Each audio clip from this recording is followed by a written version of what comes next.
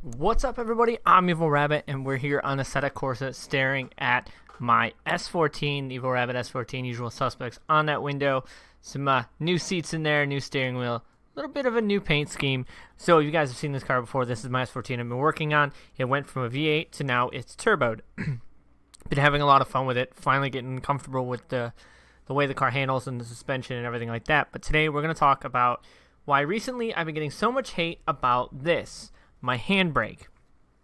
I'm getting a lot of hate recently about people saying that they wouldn't want to chase me because I pull the handbrake in all the turns, or you know, using the handbrake too much and stuff like that. So I don't understand why I'm getting so much hate about it. Now I understand I may pull a handbrake more than I probably should. It was a habit that I'm slowly getting to you know away from. But if you watch pro drivers like you know in FD and tandem when you're when they're behind they're using their handbrakes a lot.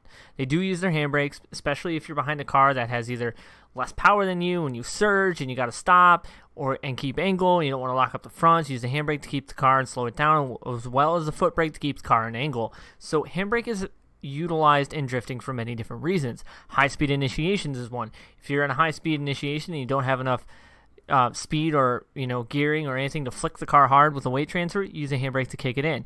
Now, flicking it in a, in a turn all the time to get it to rotate is a habit of the car. Sometimes when I'm in some of these cars that I'm not, you know, too familiar with, I'll use the handbrake to get to rotate more until I get more comfortable in the car.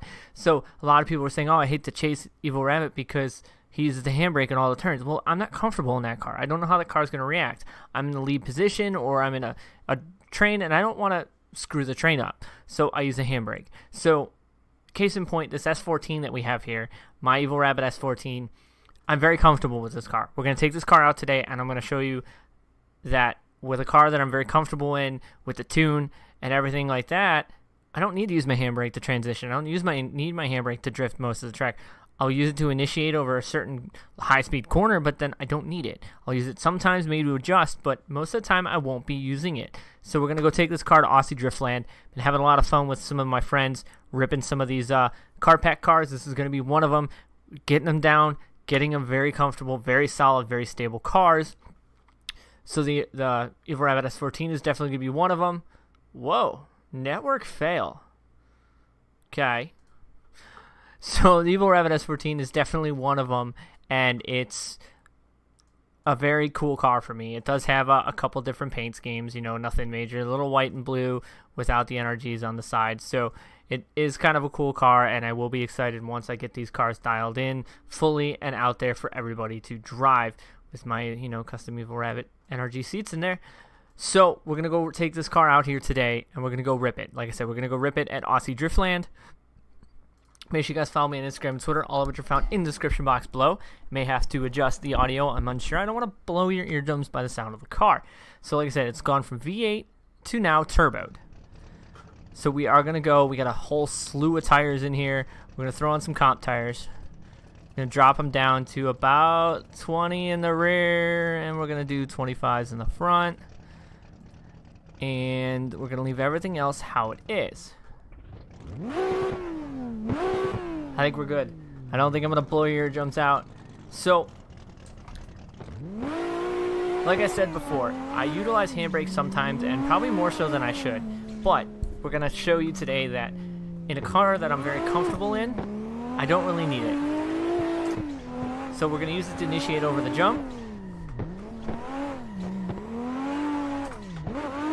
Then we're just gonna use left foot braking, a little bit of clutch kicking to get us around the corner. Tap the brake, a little clutch kick to flick the car. The left foot brake, a little lock up. I need to adjust the brake pressure. On the clutch, a little brake transition. So, I don't always need handbrake to drift or transition. It depends on the car. Like, I'm hitting those clips very comfortably and very easily without my handbrake. So this is a very slowy track, so you don't really need you know, a handbrake at all. So, but if I'm in chase position and I feel like I'm surging too much and left foot brake might lock up my brakes a little bit, with the downshift I don't need to, I will pull the handbrake a little bit to stay in angle and not have to worry about hitting, you know, the lead driver. So I basically am not understanding why I've been getting so much hate recently. If you guys, you know, have a problem with me using a handbrake and stuff like that. It's just nature of maybe it's that car. Maybe I'm not comfortable with that car and I need to use handbrake to keep an angle, or I'm chasing too much and I'm surging, but I want to stay in angle without, you know, hammering on the brakes, or maybe the brakes aren't set up correctly, and if I hit the brakes, I'm going to straighten out and come out of drift. So it's just, there's there's many different reasons to use it. So as you can see, we're just ripping my 14 right now. Here in Drift, Driftland Aussie, one of my new favorite tracks to shred with my friends stuff that. We're gonna try and run the wall. So this 14 is definitely so much stabler and has gotten so much better recently. Try to run this outside edge. Oh, a little wall graze. So, for those people that you know use handbrake all the time, it's it's not a bad thing. Yes, if you rely on handbrake, then it's a problem. It becomes a crutch, and it was a it's definitely something that I've been using for a lot in Forza and stuff like that. Ooh, right in that zone, right we go and it became a crutch. And I became so used to using it that it's became pretty much a bad habit. And I'm uh, slowly breaking that habit, getting more comfortable with uh, the people I'm driving with, more comfortable in some cars, and especially now building my own cars, changing up suspensions, physics, and everything like that. I'm getting used to what cars I can not use a handbrake on and what cars I need to use a handbrake on. We'll try and do this without a handbrake. Oh! Ow. We're gonna try that again, because I feel like I can actually get that. But like I said, I'm getting more comfortable with cars. What I can, which cars I need to use them on, which cars I don't, you know, how I should use them and stuff like that. I think I may have broken the car. We gotta get some speed up in here.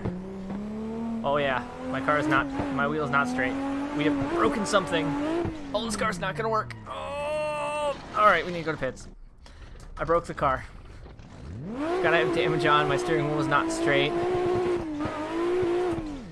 So we're gonna go try and get this jump again without a handbrake and see what we can do. Too much, too much, too much, too much. Ugh. So that's a point where a handbrake is definitely should be used to help initiate on that jump. I'm sure I could flick it a lot harder and maybe actually get the transition correctly, but I feel like it's just much easier to get the high speed entry with a handbrake. So just wanted to throw this car around, give you guys a little glimpse of one of the cars that will be in my upcoming car release for you guys to download and thrash around yourselves. Got this, got a 350Z, as well as a couple real cars that my friends drive, like the Dave's Heckin' Good Boys S14, a couple other uh, 180 SXs, another S14. I think I'm to have uh, S13s in there. Just a bunch of cars. They may release a couple cars here very shortly. Let's see if we can get this jump again. Oh. Nope. Lost power. Need handbrake. A couple cars here, maybe the Z and the 14 so that I can run some public lobbies with these because you guys got to have them in order to get in the lobbies. So, I know a lot of people want to see some modeling stuff and things on that nature on cars, and I feel like I'm going to start building another car here very shortly and maybe do a full series on the start of the car, which car I pick, where I get parts from, how I'm using them, what software I'm using, doing livery and stuff like that here on the channel, and do basically a whole car build here on Assetto Corsa for the channel. So if that's something you guys are very interested in seeing, let me know down in the comments. If there's a specific car you think I should build, let me know. A car that you might want to see in a car pack. Whether it be like an FC, an FD RX-7, another Style 14, maybe an S15, S14.5, or whatever.